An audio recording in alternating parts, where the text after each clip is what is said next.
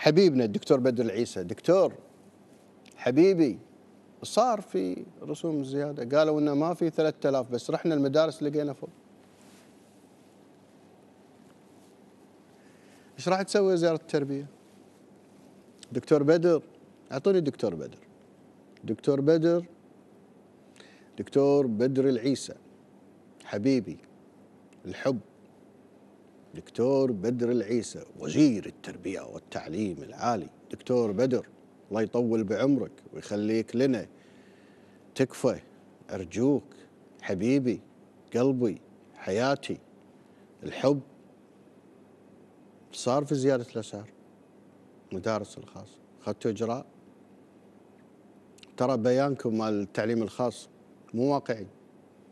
دكتور بدر روح اطلب رسمي قول له شنو عندكم رسوم سويتوها المدارس الخاصة؟ تتفاجئ. نيجي السنة الجاية. من الحين بنحجز شهر أربعة كلنا بنم وعلى السعر الجديد. يا دكتور صدقني والله العظيم زادوا الاسعار صدقني في شيء قلت لك إياه غلط يعني.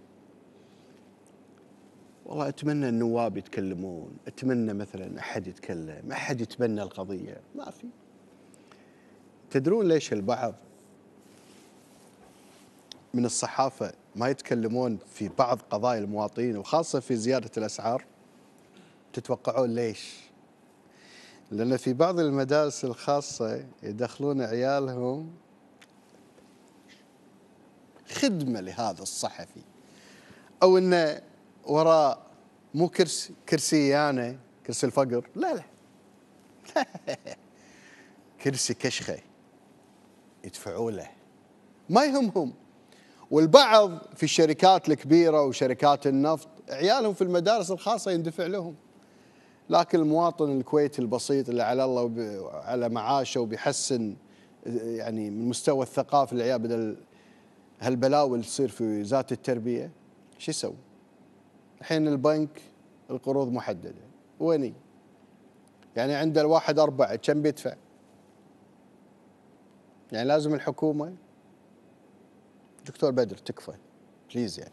بليز أنا الأسبوع الجاي إجازة يعني. بالاسبوع الجاي راح أرجع على نفس الموضوع. ماني ناسي. مني لا. أجيب لك الأوراق.